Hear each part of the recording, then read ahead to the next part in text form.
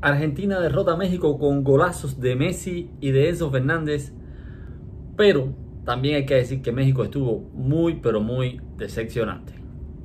Vamos al vídeo.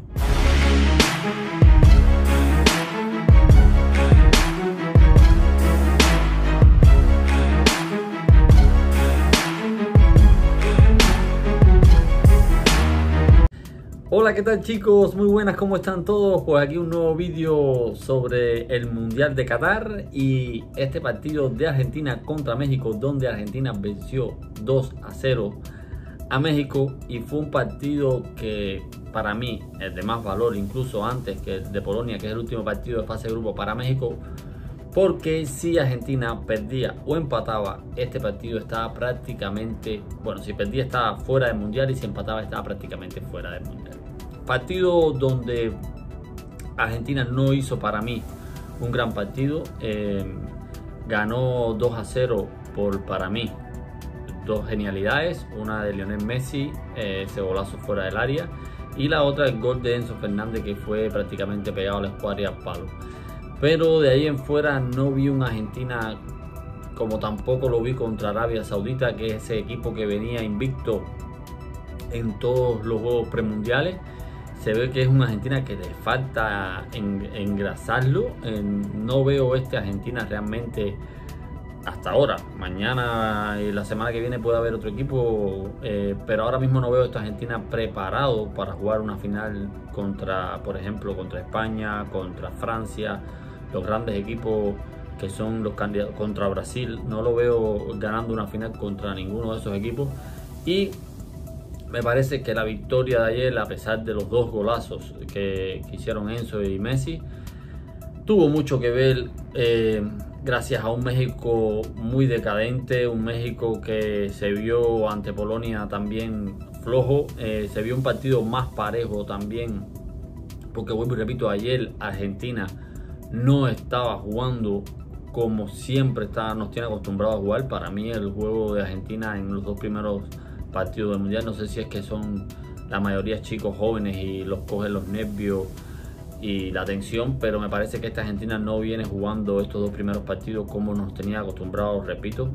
Y em, México tuvo toda la culpa de esa derrota porque no fue incisivo, no fue un México que apretó, para mí le dieron muchas oportunidades en el sentido que se tiró atrás completamente a esperar. México se tiró atrás a esperar. Me parece que México tiene muy buenos jugadores, una selección que tiene muy buenos jugadores tanto en ataque como en defensa. Y se lo digo a todos los mexicanos que me ven, sé que me ven muchos mexicanos.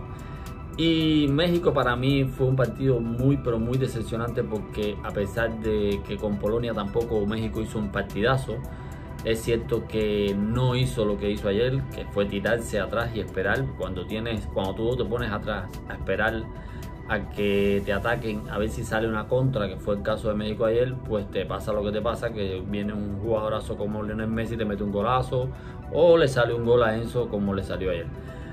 Pero en general, en líneas generales, para mí me parece que no fue un buen partido Argentina no puedo decir que fue un buen partido de Argentina en líneas generales. Eh, sacó el partido que era lo importante, hay que decirlo así. Argentina ayer iba a sacar los tres puntos. Su idea era sacar los tres puntos si fuera con, los dientes.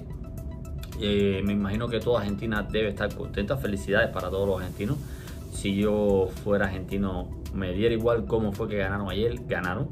Y también deben estar contentos por el golazo de Lionel Messi que eh, igualó récords mundiales de Maradona con ocho eh, goles en fases de eliminatoria de mundiales y partidos también jugados, creo que eh, también igualó a Maradona. El, argentino sigue rompiendo récords, pero quitando de que México no hizo un gran partido y que para mí tuvo la gran culpa sobre todo de la victoria de Argentina, hay que decir que Argentina tiene a Lionel Messi, que aunque esta temporada está mucho mejor, es verdad que ya no, no es aquel Messi de 20 años, pero esta temporada está mucho mejor tanto a nivel de club que la temporada pasada y si eso se está viendo en el campo. Se está viendo en el campo, se está viendo un Messi más interactivo, más participativo, que pide balones, que dispara. Es cierto que en el primer partido de Arabia Saudí estuvo un poco desaparecido, tuvo sus oportunidades, no las pudo desaprovechar en ese partido, pero bueno,